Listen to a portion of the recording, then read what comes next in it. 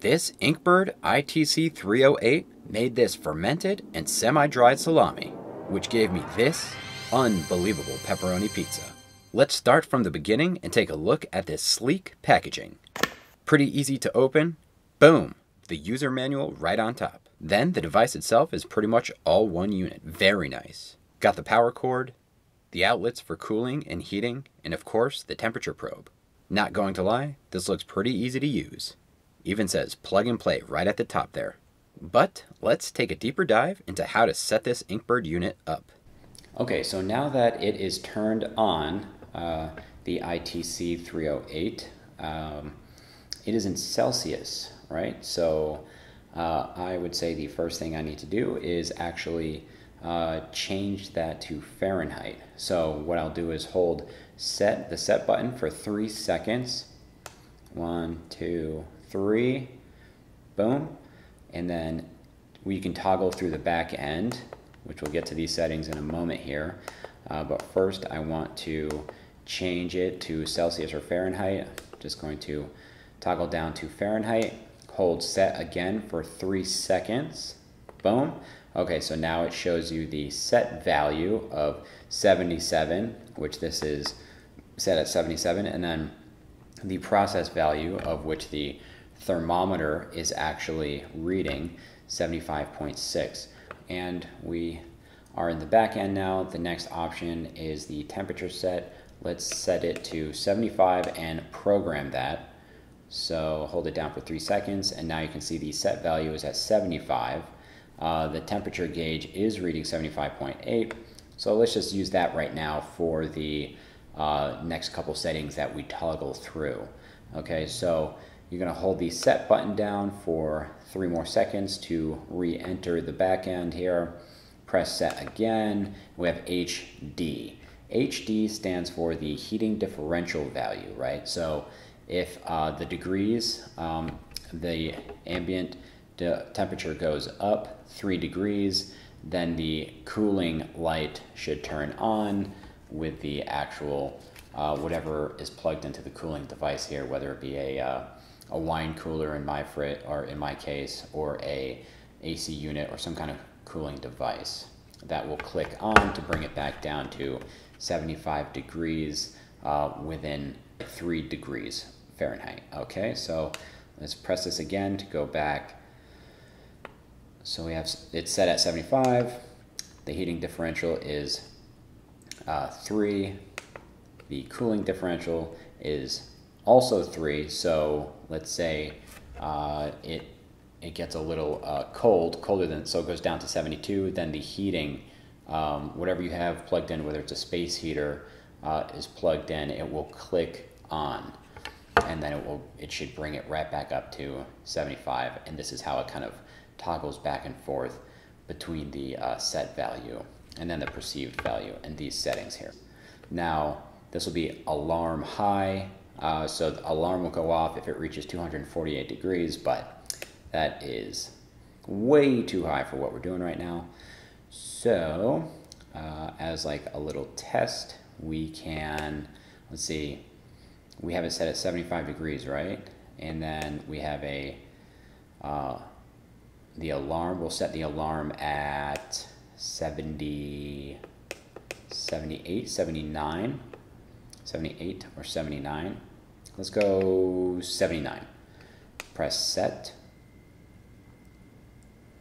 Okay, perfect. So I'm thinking maybe if I hold the thermometer here for a moment, hopefully my palm will raise the process value up here and an alarm will go off just like that.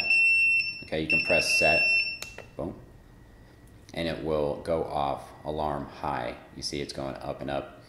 And this uh, clicks on after uh, the three degrees um, that we set it. Okay, and now this is the compressor delay. So sometimes uh, the your compressor is maybe a little frozen over or it's defrosting. Um, when the Inkbird notices that it uh, is going to need to turn it on to cool things down.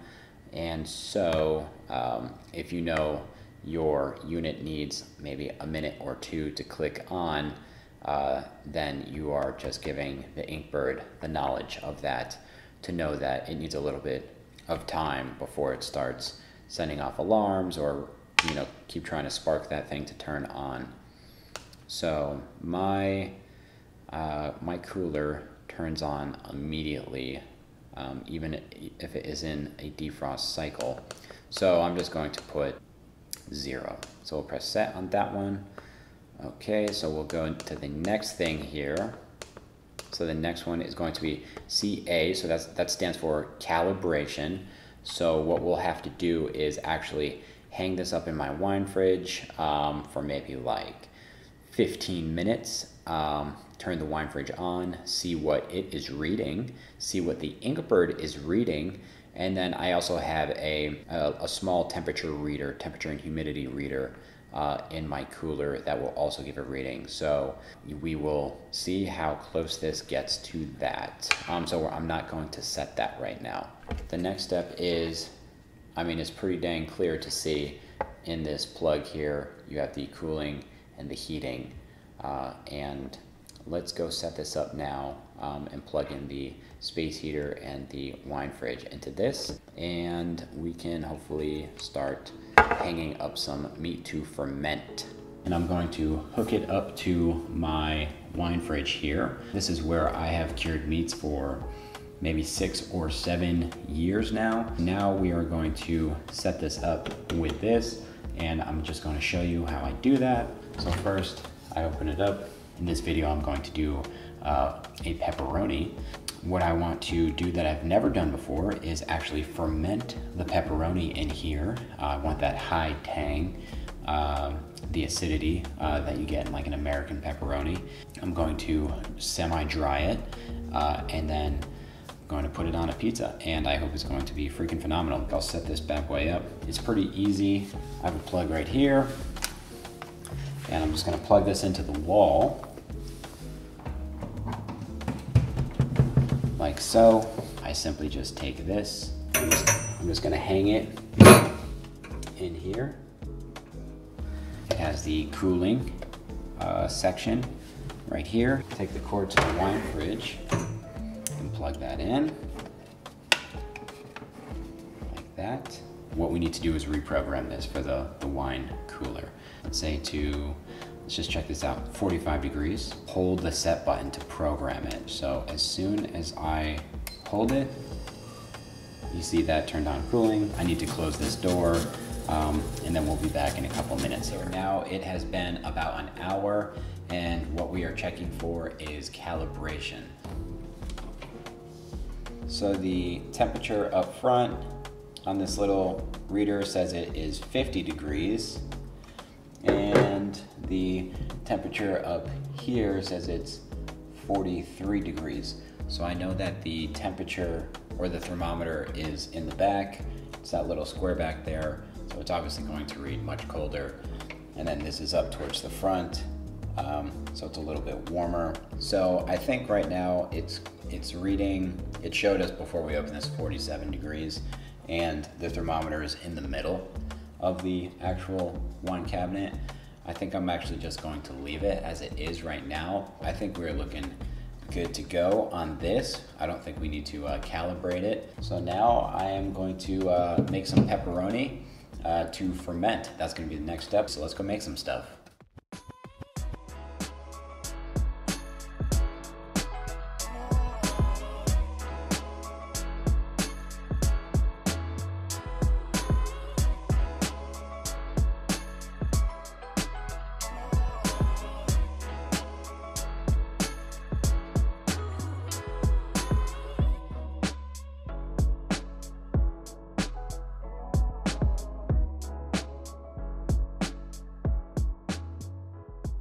Okay, so now that we have made the actual pepperoni, we are going to ferment them. I have never fermented in this before, so we are going to find out together if it actually works. So what I want to do is ferment it at 85, and I have the space heater right here that I'm gonna put in here. So I have it set at 85.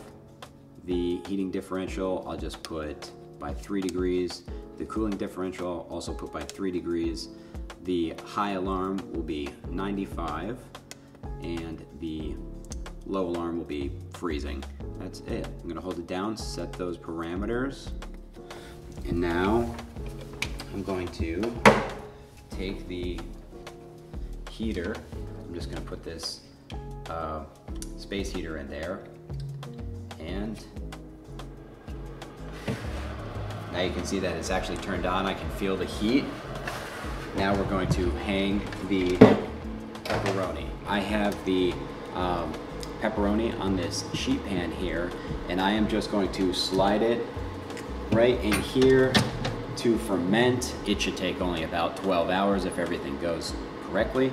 Uh, the reason I keep it on the sheet pan and don't hang it is because uh, it is going to drip a lot. After it ferments, I'm going to actually hang them up. We're going to do the semi-dried one on this video, cook it on a piece of pizza. But the first step is to get that fermentation down. This should take about 12 hours.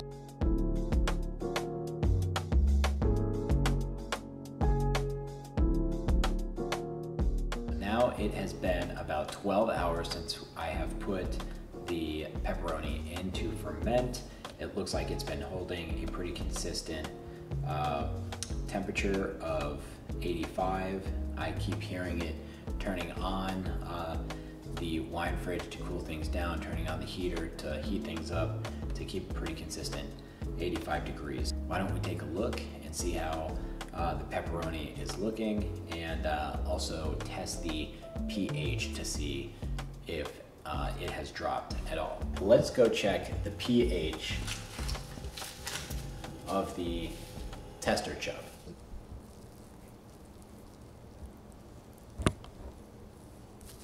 So that's looking really good. It already hit, just in those 12 hours, the 5.2. So that is perfect. I am super excited that uh, this worked for fermentation. That took 12 hours. So what we're gonna do now is actually reset this. We're going to put this back to about 45 degrees. We want to slow down fermentation and uh, we're looking for uh, a drying a slow drying atmosphere now.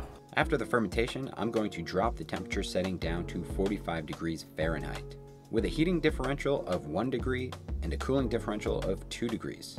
Now it is set to 45 degrees. I can already hear the wine fridge going down and I have them measured now, just one and two, and I have their weights and I will be in the next couple days uh, weighing them to see um, how much they have lost. We're going to do a check-in tomorrow and the next day and see uh, how they progress, and I'm super excited about it. So three days later, the Inkbird has kept the wine fridge hovering perfectly at 45 degrees Fahrenheit. The temp and humidity reader is showing exactly that as well, with the average of 45 degrees, with a humidity around 73%. It's now weighing in at 403 grams from the original weight of 450 grams. So that comes out to a total of an 11% weight loss. And the carryover fermentation is at 4.7 from when I stopped fermentation at 5.3 pH, which is right about the max acidity of what I want. So now I'm going to place the pepperoni in a food grade plastic bag. Stick it with an oven thermometer and dunk it in a water bath heated to 145 degrees Fahrenheit. About an hour later, I'll pull it out and dunk it in a cold water bath to stop it from cooking and to tighten up the casing so it doesn't shrivel. Afterwards, I'll put it in my refrigerator on a rack to let it kind of dry up the surface again and after 24 hours, look how stunning that is. Now it's time to cut it open and check out the bind. Unreal. I am so happy with that. The bind looks fantastic, and I can already smell the paprika and the fermentation tang. Let's cut some up for a pizza.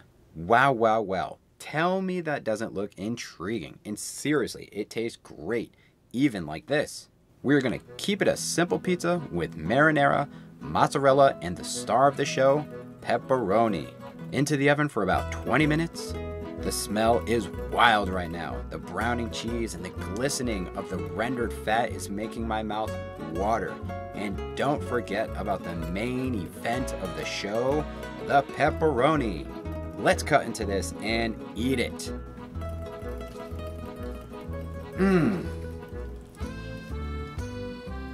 Mmm. Phenomenal. Seriously, I am so happy I made this. I was successfully able to ferment and dry this beautiful pepperoni for this beautiful pizza here with the Inkbird ITC 308. If you guys want any more information on this Inkbird ITC 308, the product link is going to be in the description of the video. Guys, it's all for the love of me, Matt the Butcher, out.